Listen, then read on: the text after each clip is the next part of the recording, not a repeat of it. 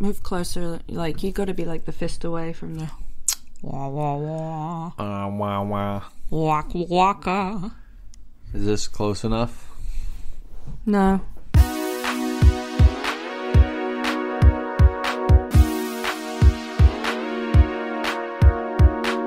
Hello, everybody, and welcome to the second episode of Different Leaf, the podcast. I'm Brit Smith, and I'm coming to you this week from quarantine. I know a couple of people who have had the virus we shall not name, and unfortunately, that includes my guest and my backup guest for this week's episode. Luckily, I found this awesome guy who just happened to be free to chat about pot during the pandemic. He was in my house. I married the guy. His name is Drew. I hope you enjoy.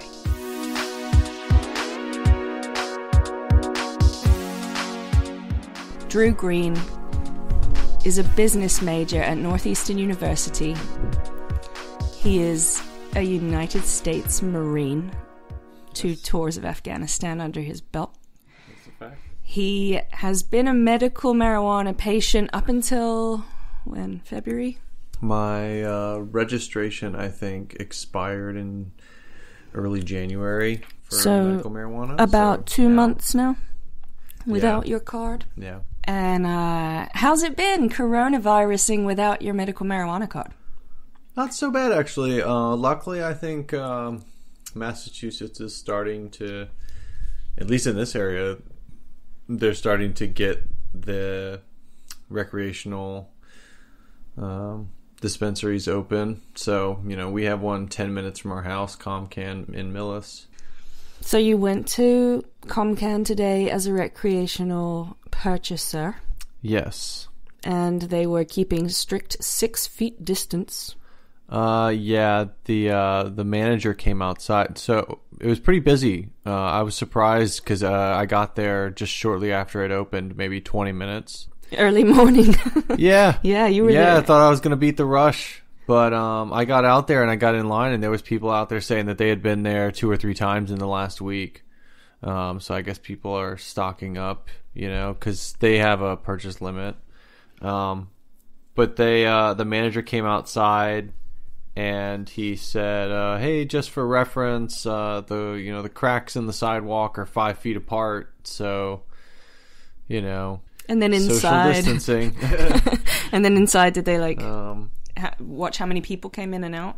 Yeah, they they were metering. I mean, they they often meter people in and out when they often meter people in and out when it's busy. But This one's by order of the governor. yeah, well, I mean, I think I think marijuana establishments already have limitations on the the number of people that they can have in inside based on square footage or something. Yeah, just general capacity stuff, but Yeah. this one's for the health and well-being of society. Yeah, well, I think now also because of the six foot social distancing thing, now that that's you know just limited to how much people they're going to allow in based on that too. But also they've got they've got a fairly full staff. They had every other register open so that you could have distance between you at the register. Yeah. Um, and then they had the queue line was spread a little bit wider than usual. Then they also had X's marked on the ground that were all six feet apart. It seems so strange. Yeah, and so it's funny you walk in there and you stand on this X and you just look down and you look over to the guy to your left standing on another X and the guy in front of you standing on another X and you're like, This is not real. Yeah.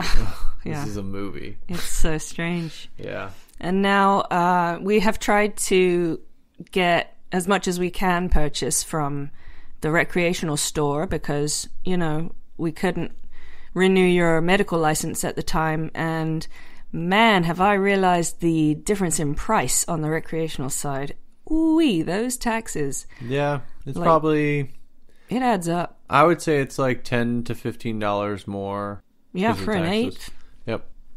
Yeah, which is like it's a lot, but it's also just the convenience and the quality and all the testing that they do. You know, I think that there's some, uh, you know, customer assurance element that's pretty valuable. Yeah, for sure. I think that a lot of people are going to go back to their street dealer guy. Right. I mean, yeah, with the shortage, you know, like there's definitely going to be a sh- more. Street dealer guy wasn't a very cool way to say it, was it? I don't know. I don't know. I don't know. I don't know what the kids say. What do the kids call him now? yeah, my guy. I just Your call him guy. my guy. Yeah. Is that what you call? I don't Yeah. know. What do you say? What did you say in America Yeah, when the you homies. when you were down in Georgia? You call him the homie. Yeah. Got to hit up my Yeah, homie. Hit up my homie. We used to uh, we used to call him the the weed man. Uh, we weren't very innocuous about it. Yeah, yeah, yeah. Got to call the weed man. Yeah. English aren't so much with the wit. Um, I th- I tend to disagree. I, I was hoping I'd come back with a witty comeback, but, but we just shared that joint, so that's not going to happen. Oh no. Uh, when I went to Comcann, they only would let me buy uh, seven grams of fl- of just regular flower, um, and then I also was able to buy like three grams worth of joints. And that's on the rec side. Do you know if they had any limit on the med? I don't. I didn't ask. I wonder. yeah, probably less of a limit on, on that side. Yeah. Um, That's probably why they have the limit on the rec side, so that they can f- supply the medical side. yeah, yeah, which is understandable. But they've also got different products on the rec side. Were they selling edibles and you know all of the regular everything they still had in stock? Or were they out of anything? Um, I think they well, I think that their menu live updates. So Yeah. I think that as things go out of stock, it delete it removes them from the screen. So I don't think it would even show me. Did you see that they had like a a, a very large supply, very a lot of options? They had a pretty normal Yeah. number of options, maybe a little bit fewer, but pretty normal. This is just going to affect every single industry out there, and the cannabis industry is uh, is not. Um, what's the word? Insulated. Is not insulated. Thank you, honey. Yeah. Uh, yeah, this is definitely going to impact, and it's a very small industry at the moment. So it's It's a small industry, and you know, like it. the The question is, how much money are people willing to continue investing? Because all the these companies in Massachusetts are backed by a lot of money. right. um, by necessity of the Cannabis Control Commission. Um, so it's just a matter of how much money those people are willing to eat. You know, getting through this because they're gonna they're gonna spend a lot of money. and They're gonna lose a lot of money.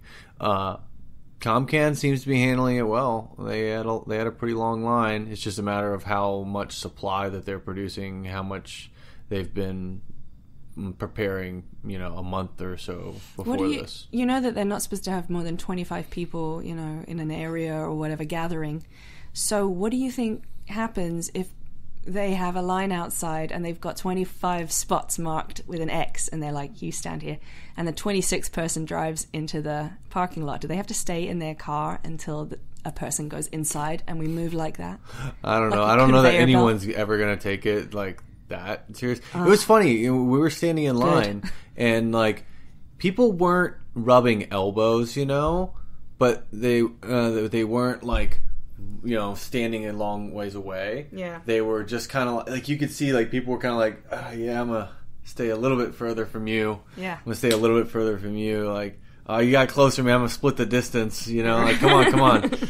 you on, gotta man. save yourself at this Yeah, time, yeah, yeah. right? So I mean, there's people are definitely nervous. It's it's, it's an odd thing in the air right It is. now. It's you know, so like, strange. Well, um, I think that this will be good for the for the underground business. You know, like there are small businesses Definitely. going under right now, but there's also just like home entrepreneurs who are making their own edibles and growing their own weed who are going to flourish. yeah. Right. I do wonder uh, if the uh, I I wonder if the Cannabis Control Commission is going to try and do something with uh, some of the existing businesses that are already trying to vie for a delivery business. Yeah. You know, because I'm Speed sure there's m- many of them that are. I think that there is some uh, Well, delivery. medical. There for- are on the some medical side, yeah. yeah. But I think that maybe uh, the Cannabis Control Commission could possibly look into some options to either help them expand that or you know to license other people to do delivery. You know what um, Mayor Walsh in Boston has been doing for the restaurants? So you have to have a license to do delivery for restaurants, but because all the restaurants are closing down, all the bars are shut, the only thing they're allowed to do is takeout and delivery. Well, if you don't have a delivery license, you pretty much lost your income. So he's actually, uh, sus- I think, either suspending something or writing something into law that will allow delivery for any single eatery or you know pizza parlor or cafe or whatever, just so that they can stay afloat. Yeah. And I wonder if the Cannabis Control Commission could do something similar for medical dispensaries. It would be too much, I think, to try and enact recreational delivery right now. That's a whole other thing. Well, But to allow expansion of medical delivery right now, I think that's possible, right? um, Because how long are the people going to have to go without medicine? I don't think so, actually. I think that it's just as easy to implement recreational at the same time. I mean, it's up to the businesses to decide how much they're going to invest in that because it's a whole infrastructure investment that you have to come up with to start doing uh, deliveries. You know, like you have to have um, addresses and mapping, and you have a way to verify before they make the purchase and before you give them the product. So, you know, like there's some clear guidance that I think that can be put in place that would apply. You know, like with the medical side, all it really is is one more license to look at, Yeah. right? Like, right. do you have a medical card or not? You know, I so suppose.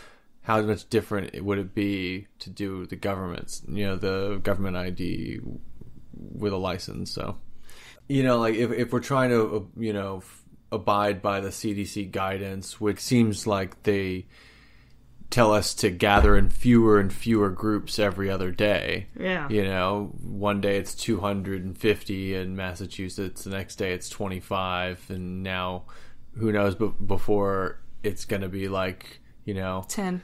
Yeah. Like kick your cousins kids out and your children house. in one room, husband and wife in the other. Yeah.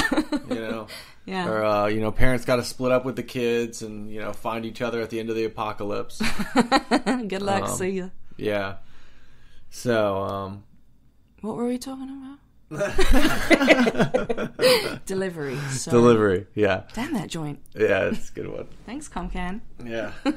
um, yeah. So I mean, I, I there's a lot of infrastructure investment, and so I think that the businesses are going to have to decide how much they're going to go ahead and do that.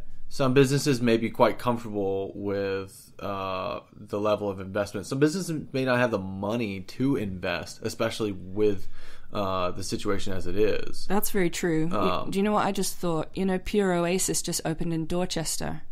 Like the week after they open, the coronavirus Hmm. happens. I wonder if, you know, they needed a lot of interest well, hopefully they over uh, overestimated for their inventory, and they actually like have a good stockpile. Yeah.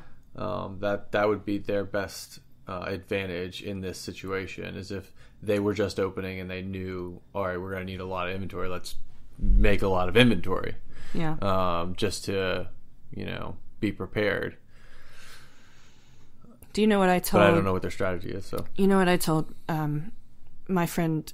She said that she had a lot of bud right now, but that she thought that it would probably go, you know, dry or bad over the however long we're going to be in quarantine for. bad weed's better than no weed. I mean, beggars can't be choosers. If we're all in the apocalypse right now, I'll keep your I'll keep your dry weed. Yeah, Yeah, give me my terpenes. I'm all right. yeah. I, you know, I told her, you know, I I think people freeze it, right? Can I think? Um, and I told her to make it into butter and make it into edibles. Mm. Yeah. And those you can definitely freeze and keep.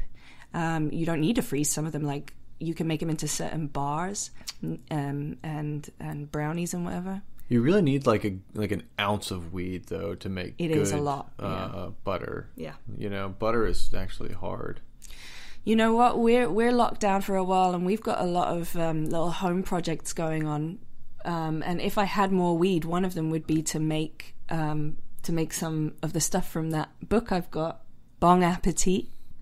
I haven't made anything from that yet because I haven't had enough weed to be able to do it.